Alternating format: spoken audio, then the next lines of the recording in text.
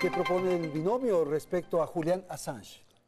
Hay que respetar el, el- el tratado y los, la ley internacional sobre esto, la política internacional, los tratados externos, pero si el señor está asilado ahí, es un asilado, pues no es un, no es Bueno, un pero eh, opinador entre las político. opciones es decirle, señor, salga de la embajada también. Pero eso tiene una norma, tiene un procedimiento a seguir, hay que respetar esas normas para eh, cumplir en el derecho y sobre esa base que se tome una decisión.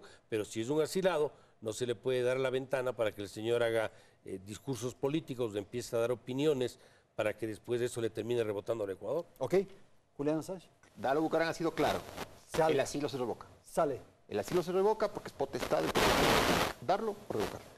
¿Qué ocurre con la densidad poblacional? Nadie ha tratado ese tema. Sí, por- Es, es el que- país con mayor densidad poblacional en América Latina. Porque no le estás dando una solución al, al- al tema agrícola. Es decir, la densidad poblacional, el apiñamiento de las personas en torno a los centros urbanos es precisamente por un, por un equivocado proceso de desarrollo ya no hay más económico. tierra, pues, ya no hay más donde No, es poner no más es- tanta gente. No, no es eso. El tema es que tienes que acercarle al- al- a la persona que hace eh, labores en, el- en agrícolas, acercarle lo que busca. Busca salud, busca educación y darle precios competitivos para que pueda crecer y El pro- El sustentarse. problema, Ramiro, es que hay demasiada gente.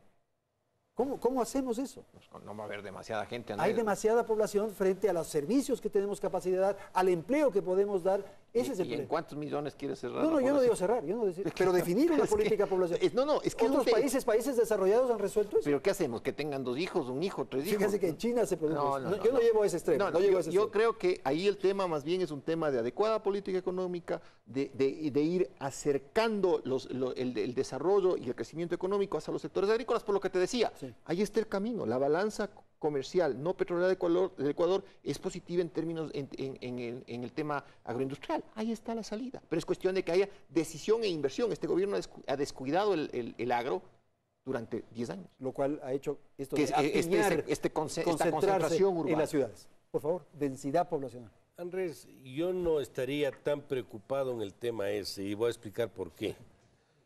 Taiwán es una isla. ¿Sabe cuántos kilómetros cuadrados tiene Taiwán? No sé. 36 mil kilómetros cuadrados. El Ecuador tiene más de 200. Claro. ¿Cuántos habitantes tiene Taiwán? Alrededor de 23 millones. ¿Y sabe cuánto es el PIB de Taiwán? Casi seis veces el Ecuador. Lo que quiero decir con esto es que la densidad poblacional tiene que ser, de alguna manera, potencializada para que esa gente, así esté, como usted dice, más, a- más Muy- junta, sí. más apiñada, tenga un mejor nivel de vida.